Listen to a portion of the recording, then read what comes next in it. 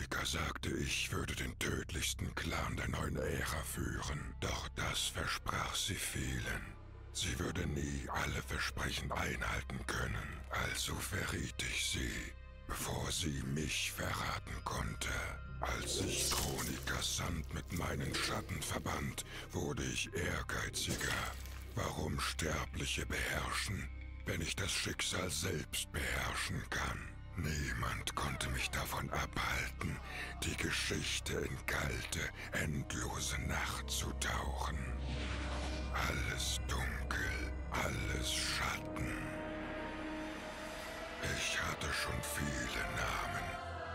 Jetzt bin ich der Tod, Zerstörer von Welten.